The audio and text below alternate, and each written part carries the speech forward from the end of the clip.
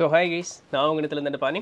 So இன்றைக்கி நம்ம என்ன வீடியோ பார்க்க போகிறோம் அப்படின்னு சொன்னால் அவதூத கீதை. ஸோ ரொம்ப நாள் ஆகிப்போச்சு இந்த அவதூத கீதை அப்படிங்கிறது பார்த்து எனக்கு தெரிஞ்சு ஒரு ஒரு மாதம் இருக்கும்னு நினைக்கிறேன். ஸோ இதனுடைய தொடர்ச்சி அப்படியே பார்த்துட்டே வந்துடலாம். இதில் என்ன பியூட்டி அப்படின்னு சொன்னால் இது தொடர்ந்து பார்த்தவங்களுக்கும் நம்மளுடைய சேனலை தொடர்ந்து வியூ பண்ணிக்கிட்டு இருக்கவங்க யோகா வாசிஷ்டம் தொடர்ந்து பார்க்கக்கூடியவங்க இவங்களுக்கெல்லாம் வந்து இது ஓகே கிராஸ் பண்ணிக்க முடியும் என்ன ஏதுன்ட்டு. இந்த முதல் தடவை பார்க்குறவங்களுக்கு எனக்கு அவங்கள நினச்ச ஒரு பக்கம் சிரிப்பே வந்துடும் என்னடா பேசிக்கிட்டு இருக்கே? அப்படிங்கிற மாதிரி இருக்கும். But anyway so first time பார்க்குறீங்க அப்படின்னு சொன்னால் இது வரைக்கும் முந்தின பதிவுகள் பார்க்கல அப்படின்னு சொன்னால் கீழே டிஸ்கிரிப்ஷனில் பிளேலிஸ்ட் லிங்க் தரேன். கண்டிப்பாக போய் பாருங்கள் பட் ரொம்ப யூஸ்ஃபுல்லாக இருக்கும். இது வந்து ஸ்பிரிச்சுவாலிட்டியினுடைய ஒரு ஹையஸ்ட் பாயிண்ட் அந்த இடத்துல இருந்து அவங்க வந்து அந்த புரிதலை வந்து நமக்கு எக்ஸ்பிளைன் பண்ணுறாங்க ஸோ அதுதான் அந்த அவதூத கீதையினுடைய கோர் தீம் சரிங்களா? எனிவே ஸோ இதனுடைய தொடர்ச்சி இன்றைக்கி நம்ம வந்து பார்க்க போகிறோம் அவர் என்ன சொல்கிறாருன்னா அந்த நான் சொல்லக்கூடிய அந்த தன்மை. நான் சொல்லக்கூடியது என்ன? அகம்பாவம் இல்லை. நான் சொல்லக்கூடிய அந்த இறைத்தன்மை.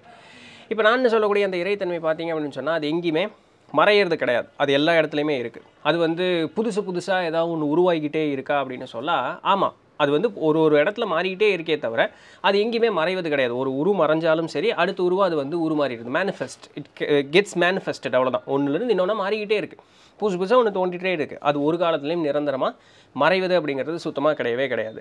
இப்படிப்பட்டது பார்த்தீங்க அப்படின்னு சொன்னால் நீங்கள் அதை எப்படி விளக்கம் சொல்லுவீங்க அது ஒன்று மறைஞ்சாலும் இன்னொன்று புதுசாக வந்துடுது. அதனால் அது ஒளி பொருந்தியது. உருவோடு இருக்கும்போது ஒளி பொருந்தியது அப்படின்னும்.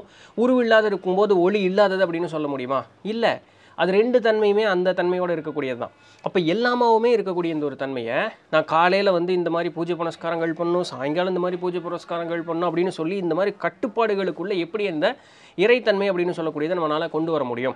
அப்போ அந்த இறைத்தன்மை அப்படிங்கிறத புரிஞ்சுக்கணும் அப்படின்னு சொன்னால் உன்னுடைய சந்தேகங்கள் எல்லாத்தையும் முழுக்க விளக்கும் பொழுது அந்த எல்லையற்று இருக்கக்கூடிய அந்த பரம்பொருளும் உன்னால் புரிஞ்சுக்க முடியும். உன்னுடைய சந்தேகங்கள் எல்லாத்தையும் முழுக்க விளக்கும் பொழுது அந்த பிளவில்லாத எல்லாமாவும் இருக்கக்கூடிய அந்த ஒரு தன்மையை உன்னால் புரிஞ்சுக்க முடியும்.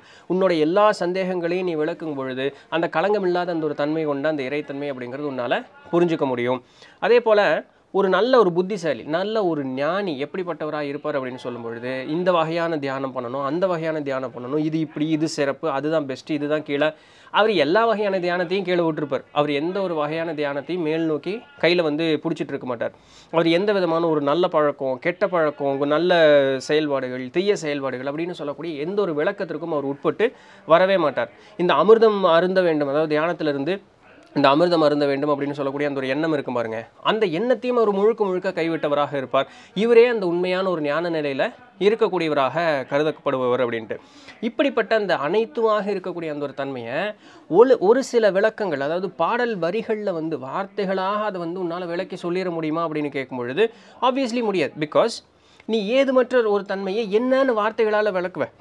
வார்த்தைகளால் ஒன்று சொல்லப்படும் பொழுது அதுக்கு ஒரு பொருள் படும். அது எல்லாமாவுமே இருக்கக்கூடியதை நீ எப்படி ஒரு பொருள் பட்டு நீ ஒரு இது கொண்டு வருவ?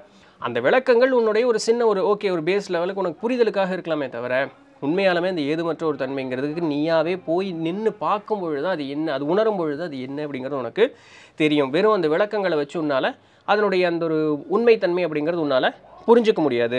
இந்த மாதிரி ஒரு ஒரு ஹையஸ்ட் லெவல் ஆஃப் கான்ஷியஸ்னஸ் அதாவது விழிப்புணர்வு எல்லாம் அறிந்த ஒரு நிலை அப்படிங்கிறது எப்படிப்பட்டதாக இருக்கும்னா முழுக்க முழுக்க உண்மைத்தன்மை வாய்ந்ததாக இருக்கும். நீ என்ன சொன்னேனாலும் அது உண்மை. அங்கே வேறு எதுவுமே இருக்காது. இது என்ன சொன்னேனாலும் அது உண்மை. அது அது அது ஹையஸ்ட் லெவல் ஆஃப் கான்ஷியஸ்னஸ் விழிப்புணர்வு அப்படின்னு சொல்லக்கூடியதனுடைய அதிகப்படியான உச்சபட்ச ஒரு நிலையில் வந்து அந்த ஒரு இறைத்தன்மை அப்படின்னு சொல்லக்கூடியது இருக்கும். இப்படிப்பட்ட இந்த இறைத்தன்மை அப்படின்னு சொல்லக்கூடியதை வந்து நம்ம தெரிந்து கொள்வதற்காக நம்ம என்ன சொல்கிறோம் ஓம் என்ற அந்த ஒரு பிரணவ மந்திரம் அப்படிங்கிறது ஒன்று உச்சரிக்கிறோம். இந்த ஓம் என்ற பிரணவ மந்திரம் பார்த்தோம்னா எப்படிப்பட்டது அப்படின்னு சொன்னால் ஆகாயம் போன்றது அப்படிங்கிறாங்க. ஆகாயத்திற்கு ஏதாவது ஒரு எல்லை இருக்குமா? ஆகாயத்திற்கு ஏதோ ஒரு தன்மை இருக்குமா? ஆகாயத்தை ஏதோ ஒரு விளக்கத்திற்குள்ளே நம்மளால் உட்படுத்த முடியுமா? அது ஏதுமற்ற ஒரு தன்மை கொண்டது. அதுபோல தான் இந்த ஓம் என்ற ஒரு தன்மை கொண்டது. அதை நீ வந்து எந்த விதமான ஒரு விளக்கத்திற்கும் இல்லை ஒரு ஜட்ஜ்மெண்ட் இது இப்படி தான் அப்படின்னு சொல்லக்கூடிய அந்த ஒரு நிலைப்பாட்டிற்கு உன்னால் கொண்டு வர முடியாது. அது மேலும் இல்லை கீழும் இல்லை. அது வந்து ஒரு ஒரு எல்லாத்தையும் துறந்த ஒரு தன்மையும் கிடையாது. அது எல்லாத்தையும் அடக்கி வச்ச ஒரு தன்மையும் கிடையாது. அப்படியெல்லாம் இல்லை. ஏதுமற்ற ஒரு தன்மையவே என்னன்னு விளக்கி காட்டக்கூடிய அளவுக்கு ஒரு அபரிமிதமான ஒரு சக்தி கொண்டதை நீ எப்படி ஒரு விளக்கத்திற்குள்ளே கொண்டு வருவ அந்த ஓம் என்ற அந்த ஒரு தத்துவத்தை? இப்போது அதை சொல்லும் பொழுது உனக்கு ஒரு நிலைப்பாடு வருது. தத்துவமசி நான் அது ஐ எம் தட் அப்படின்னு சொல்லக்கூடிய தத்துவம் அசி அப்படின்னு சொல்லக்கூடிய அந்த ஒரு தன்மை அப்படிங்கிறது நான் அது அப்படிங்கிறத நீ புரிஞ்சுக்கிட்டேன் இப்போ அதுன்னு சொல்லக்கூடிய அந்த இறைத்தன்மை. இந்த இறைத்தன்மை அப்படிங்கிறது என்னென்னு பார்த்தோம். எல்லாமாவுமே இருக்கக்கூடிய அந்த ஒரு தன்மை அப்படின்னு பார்த்தோம். அப்போ நீ அதுதான் அப்படிங்கும் பொழுது எல்லாமாவுமே இருக்கக்கூடிய அந்த தன்மை தான் நீங்கும் பொழுது உன்னுடைய மனதில் எப்படி வந்து துக்கம் இல்லை வருத்தம் பொறாமை அப்படின்னு சொல்லக்கூடிய இந்த எண்ணங்கள்லாம் வருது. How grief comes in your heart எப்படி அந்த வருத்தம் அப்படிங்கிறது உன்னுடைய மனசுக்குள்ளே வருது? அப்போது எல்லாமாவுமே இருக்கக்கூடிய அந்த ஒரு தன்மை அது வந்து பார்த்திங்கன்னா மேல் கீழ் அப்படின்னு சொல்லக்கூடிய அந்த விளக்கங்களுக்கு அப்பாற்பட்டது. உள்புறம் அப்படின்னு சொல்லக்கூடிய அந்த விளக்கங்களுக்கு அப்பாற்பட்டது. எல்லாம் எல்லாத்தையுமே தன்னகத்தே கொண்ட அந்த ஒரு விஷயம். அதுதான் நீ அப்படின்னு சொல்லும் பொழுது எப்படி உன்னுடைய மனதிற்குள்ள வருத்தம் அப்படிங்கிறது என்றைக்காவது ஒரு நேரத்தில் வந்து குடிகொள்ள முடியும்? வாய்ப்பே இல்லை இல்லையா? அது அது எப்படிப்பட்டதாக பார்த்தோம்? சாந்த சுரூபி சுதந்திரமானது. அது எல்லாத்திற்கும் அப்பாற்பட்டது. எல்லாமாவும் இருக்கக்கூடியதும் ஏதுமற்ற ஒரு தன்மையாகவும் இருக்கக்கூடியதுமாக இருக்கக்கூடியது. ஸோ இந்த விளக்கங்களுக்கெல்லாம் அப்பாற்பட்டது. அதுதான் நீ அப்படிங்கும் பொழுது உன்னுடைய மனதில் எப்படி வந்து வருத்தம் அப்படிங்கிறது குடிகொள்ளும். இப்படிப்பட்ட இந்த ஒரு தன்மை எந்த விதமான ஒரு விளக்கங்களுக்குள்ளாகவும் இல்லை பார்ப்பவர் படி பா அது கண்ணுக்கு தெரியும் அப்படிங்கிறதுக்கு எல்லாத்துக்கும் அது மீறி அப்பாற்பட்டு இருக்கக்கூடிய ஒரு விஷயம். அது எந்த விதமான ஒரு காஸ் ஒரு எஃபெக்ட் அந்த மாதிரி ஒரு செயல் அந்த செயல்னால் வரக்கூடிய வினை இந்த மாதிரி தன்மைகளுக்கு எல்லாத்துக்குமே அது அப்பாற்பட்டது. எந்த விதமான ஒரு வார்த்தைகளாலோ இல்லை வார்த்தைகள் இல்லாமையும் கூட உன்னால் அந்த விஷயத்தை விளக்கவே முடியாது. அப்போ அப்படி இருக்கக்கூடிய ஒரு தன்மை தான் நீங்கும் பொழுது உன்னுடைய மனதுக்குள்ளே எப்படி வருத்தம் அப்படிங்கிறதுக்கு வந்து குடி குடிகொள்ள முடியும். அந்த தன்மை அப்படின்னு சொல்லக்கூடியது அறிவு இருக்கான்னு கேட்டால் இருக்குது அது அறிவு இல்லை அப்படின்னு சொன்னால் இல்லை. இப்படி அறிவு உண்டு இல்லைன்னு சொல்லக்கூடிய அந்த ஒரு தன்மையை நீ ஒன் பாயிண்ட் ஆஃப் கான்சன்ட்ரேஷனில் வச்சிங்கன்னா தெரியும்னு சொன்னால் எப்படி? வாய்ப்பில்லை அது வந்து ஒரு ஒரு ஒரு ஸ்பேஸ் அப்படின்னு சொன்னியா? அது வந்து ஒரு வட் வெட்ட வெளி அப்படின்னு சொல்கிறியா ஆமாம் இல்லை இல்லை அது வெட்ட வெளியெல்லாம் இல்லை அது ஒரு சின்ன ஒரு இடம் தானே சொல்கிறியா அப்பவும் ஆமாம் இப்போ நீ எந்த இடத்துல கான்சென்ட்ரேட் பண்ணுவேன் எதை கேட்டாலும் அது ஆமான்னு தான் சொல்லுவேன் இப்போ இங்கே ஒன் பாயிண்ட் ஆஃப் கான்சன்ட்ரேஷன் அப்படின்னு எதை சொல்லுவேன் பிகாஸ் இது எல்லாமே இருக்குது இவனுடைய பாயிண்ட் ஆஃப் கான்சன்ட்ரேஷன் எங்கே கொண்டு போய் வைப்பேன் ஸோ அப்படிப்பட்ட அனைத்துமாக இருக்கக்கூடிய அந்த பறந்து விரிஞ்சு இருக்கக்கூடிய அந்த ஒரு தன்மை தான் நீ அப்படிங்கும் பொழுது உன்னுடைய மனதில் எப்படி வந்து வருத்தம் அப்படிங்கிறது குடிகொள்ளும். ஒரு பானை அப்படிங்கிறது கிடையாது. இந்த இடத்துல பானைங்கிறது உடலை சொல்கிறாங்க பானை அப்படிங்கிறது ஒன்று கிடையாது. ஸோ உன்னுடைய உடல் அப்படிங்கிறது ஒன்று கிடையாது. உடலுங்கிறதே நீ இல்லை. நீ இவ்வளோ நாள் நீ தான் உடல். உடல் தான் நீ நினச்சிக்கிட்டு இருக்கல ஸோ இண்டிவிஜுவாலிட்டி அப்படிங்கிறது ஒன்று கிடையாது. அந்த உடல் அப்படிங்கிற அந்த பானை இல்லவே இல்லை. அப்போது நீன்னு சொல்லக்கூடிய ஒரு தன்மையே அந்த இடத்துல இல்லை. அப்போ நீன்னு சொல்லக்கூடிய அந்த ஒரு தன்மையே அங்கே இல்லை அப்படிங்கும் பொழுது செயலும் செயல்னால் ஏற்படக்கூடிய வினையும் அந்த இடத்துல இல்லை. அப்போ எல்லாமாவுமே இருக்கக்கூடிய அந்த இறைத்தன்மை தான் நீ அப்படின்னு சொல்லும் பொழுது உன்னுடைய மனம் அப்படிங்கிறதுல. ஃபர்ஸ்ட் ஆஃப் ஆல் அப்படின்னா உனக்கு மனம் அப்படிங்கிறது ஒன்றே இருக்கவே கூடாது. இப்போ உன- உங்ககிட்ட வந்து எப்படி அந்த வருத்தம் அப்படிங்கிறது உன்னுடைய மனதில் வந்து குடிகொள்ளுது. ஸோ இந்த உயர்ந்த ஒரு நிலையில் இருக்கக்கூடிய அந்த தன்மை எப்படிப்பட்டது தெரியுமா? அது வந்து முழு சுதந்திரமாக இருக்கக்கூடியது. இந்த ஃப்ரீடம் அப்படின்னு சொல்லக்கூடிய இந்த ஸ்டேட் ஆஃப் ஃப்ரீடம் அப்படின்னு சொல்லக்கூடியதற்கு உண்டான முழு விளக்கம் விளக்கம் வந்து அதுக்கு இல்ல- உள்ளதா இருக்கும். பிகாஸ் அது எல்லாமே இருக்கக்கூடியது. எந்த விதமான விளக்கத்திற்கும் உட்படாத ஒரு தன்மை கிடையாது. நீ எதை சொன்னாலும் அது அதுதான். எதுவுமே சொல்லலை எதுவுமே இல்லைன்னு சொன்னாலும் அதுவும் அதுதான். அதான் ஹையஸ்ட் பாயிண்ட் ஆஃப் விளக்கம். அப்போது எல்லாமாவுமே இருக்கக்கூடியது. நெட்டை குட்டை வட்டம் முக்கோணம் அந்த மாதிரி எந்த விதமான ஒரு விளக்கத்திற்கும் உட்படாமல் அனைத்திற்கும் அப்பாற்பட்டு இருக்கக்கூடிய முழு சுதந்திரமாக இருக்கக்கூடிய அந்த ஒரு தன்மை கொண்டதான் அதனுடைய தன்மை. அப்போது அப்படிப்பட்ட ஒரு சுதந்திரமும் எல்லாமாவும் இருக்கக்கூடியதை நீ எப்படி விளக்கத்திற்குள்ளே கொண்டு வருவ? அதுதான் நீ ஆகும் பொழுது உன்னுடைய மனதிற்குள்ளே எப்படி வந்து வருத்தம் அப்படிங்கிறது குடிகொள்ள ஆரம்பிக்கும். அப்போது அந்த த ஒன் அந்த அந்த எல்லாத்து ஏக பரம்பொருள் அப்படின்னு சொல்கிறாங்க பார்த்தீங்கன்னா அந்த அது- அந்த அது எல்லாத்துக்கும் சுப்ரீம் அப்படின்னு சொல்லக்கூடிய அந்த ஏக பரம்பொருள். அது வந்து வாய்டுனா எதுவும் இல்லாத ஒரு தன்மைன்னு அர்த்தம். சரிங்களா? ஸோ அது அந்த ஏதுமற்ற ஒரு தன்மை கொண்டதா? இல்லை இல்லை ஏதுமற்ற தன்மையெல்லாம் கொண்டல அதுக்கு ஆப்போசிட்டு அது எல்லாமாவுமே இருக்கக்கூடியது அப்படின்னு சொல்கிறியா ரெண்டுமே ஒன்று தான் அது இருக்குன்னு சொன்னால் இருக்குது இல்லைன்னு சொன்னால் இல்லை. அது தூய்மையானதா? அது தூய்மை அற்றதா இப்படிங்கிற விளக்கத்திற்குள்ளெல்லாம் அது உள்ளே வராது.